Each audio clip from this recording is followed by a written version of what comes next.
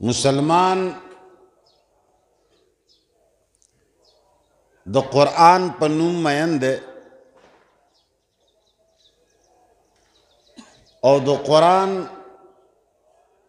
پروګرام سره سخته دښمنی ده زما خبرو باندې غور کوي بعضې خبره وي ډېره قیمتي خو کله کله د پراپیګنډې شکار شي خلک یا خوا دی خوا کی د قرآن داسې مثال دی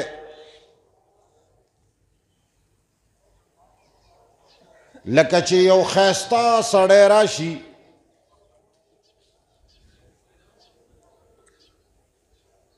او ته چې وګوري نو تا ته ډیر انتهایی خیستا او خو لګي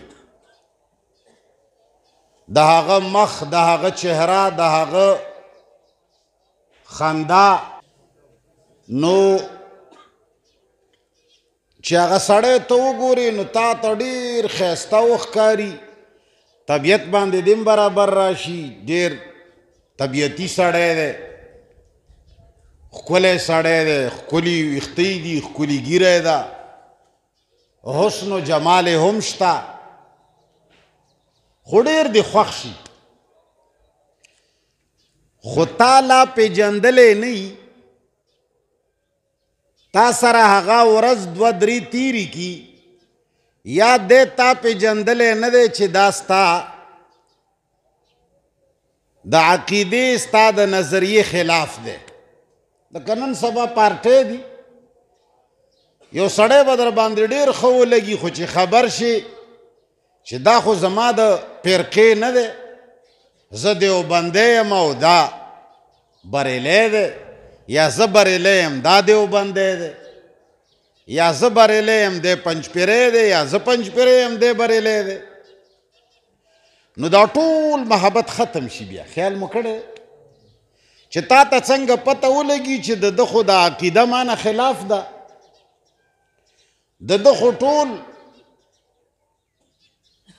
نظریات ما نه خلاف دي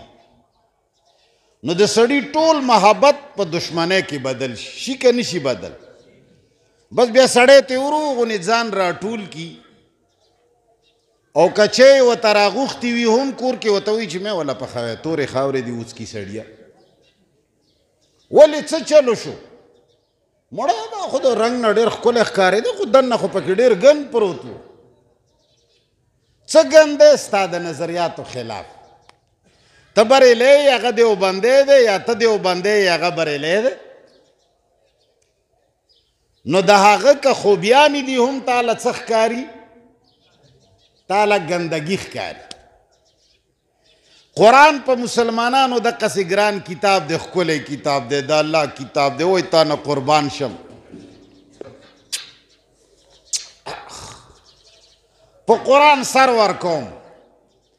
دنه دی لیدلی ته مکمل د مخلوق بنده یې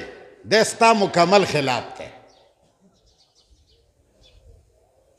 ته د اولیاو د بزرګانو د مولایانو باندې د ستا مکمل خلاف ده ته د قبرونو د دمونو او د مالګو سړی د ستا مکمل خلاف ده ته پیغمبر د الله ځای ته رسوي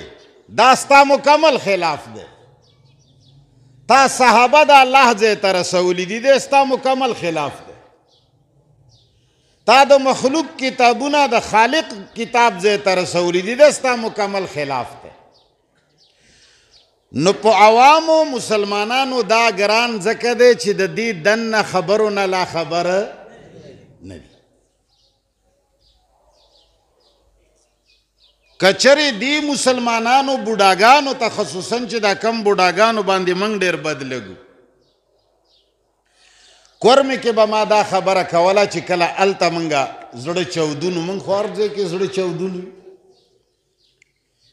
چې دا خلک به کله الله پیژني څنګه به وپیژني نو هلته به داسې بوډاګان وو چې د درس نه به په غوږونو کې ګوتې کې ښودې راتلل خو پرېږده نوم اخیستلې زمونږ بد ګڼل